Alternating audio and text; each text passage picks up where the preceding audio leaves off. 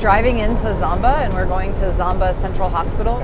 Zomba is one of the first places, one of the four central hospitals in Malawi where we started the rollout of CPAP beyond the Queen Elizabeth Central Hospital. I am Indira Shigomone. And today we're going to go visit the neonatal ward and see how things are going with CPAP. We're going to visit with Indira, who is the CPAP coordinator on site.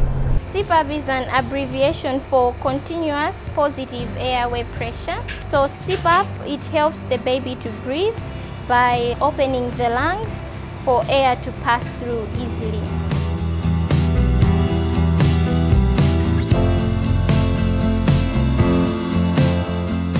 I am measuring the room right now so that we can have a base plan to work off of. What I've done so far is draw what's existing and I usually create a code.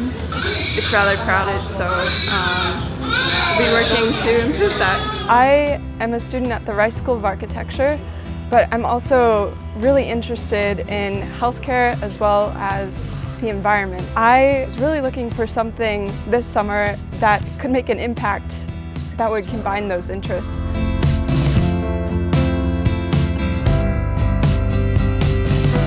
When I first step into a new neonatal ward, I'm just looking all around. My eyes are kind of darting and I'm seeing how many babies there are, how many healthcare workers there are, and just seeing the faces first and then you start to look at the equipment that each of those people is on or is using and then I really just am inspired to draw.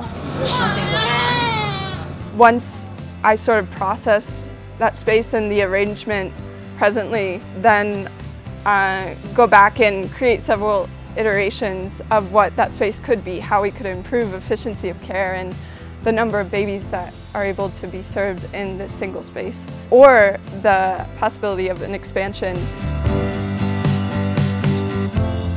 You could do anything you dream of at Rice. Originally I came in knowing I wanted to do the Poverty, Justice and Human Capabilities minor because I really have a heart for that. And then during O Week, there was a presentation on global health technologies and Dr. Richards Kortum, she was showing a video about the program and then right away I knew, oh, I really want to find more about this.